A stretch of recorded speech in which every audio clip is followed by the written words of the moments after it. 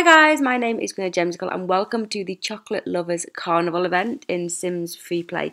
This event lasts for eight days and we win some amazing carnival outfits. So let's go ahead and take a little look at it.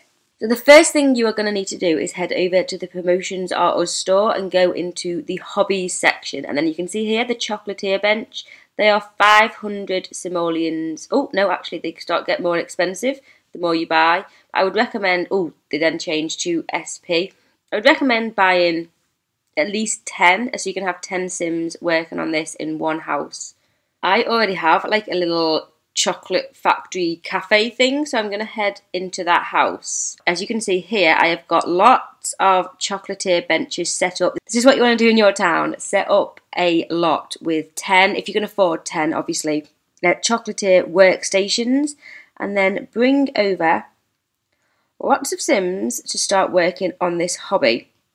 So the options for the chocolatier bench are 3 hours 15 and 6 hours 15. I also recommend doing the shortest time possible with 3 hours 15. Obviously, if you can't check in on the game in 3 hours and 15 minutes, do the longer time. You want to get as many Sims as you possibly can working on the hobby. Only adults can do this hobby, so your teens or your seniors won't be able to help you out with this. Here is the grid for the hobby. So we are going to have to collect all 12 of the collectibles want to win one carnival outfit. So overall there's six carnival outfits. So you'll have to collect and complete this whole grid six times. You also need to make sure that at least one of your Sims is a level 6. As you can see, all the backgrounds on these question marks are white. That means I have got one of my Sims up to level 6 and I can collect any of these collectibles with any Sim, even if they are level 1 in the Chocolatier hobby. Always, when there is a new hobby coming out, I recommend that you just get one of your Sims up to level 6 or level 8. I think some of the hobbies have a level 8. Whatever the highest level is, get one of your Sims up to the highest level and then if there is an event like this, you will be able to collect all of the collectibles. It's a pain if you start this and you haven't got someone up to that top level because then you'll have to get someone up to that top level before you can start collecting all the collectibles. So I'm going to get as many Sims as I can starting this hobby.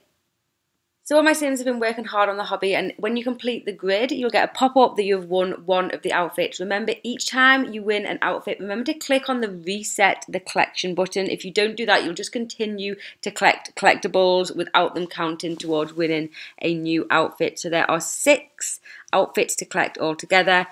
When you get the pop-up for it, then just click the reset button and start all over again until you have won all six of the outfits. Let's take a look at all of the prizes that we won them. So what you need to do is have a wardrobe, click on the wardrobe and browse clothes. These clothes can be used with both male and female adults. So we're going to take a look at female first. And the clothes are in the outfit section. So here we are. Wow, look at these. Oh my goodness. like everyday wear, yeah? these are amazing. I love them. Our Sims can just be wandering around the town, looking like carnival girls.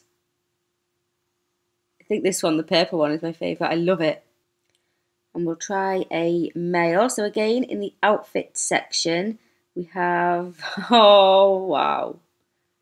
Look at these. They are so amazing. I like this yellow one. Wow, definitely. These are cool. I have no idea why our Sims would wear these, but hey, all my Sims are going to wear these, I think. so there you go, guys. That completes this event. Let me know down below what you thought of it. Did you manage to complete it? I think it was a relatively easy one compared to some of them. But thank you so much for watching. Give this video a thumbs up if you enjoyed, and I will see you guys soon. Bye!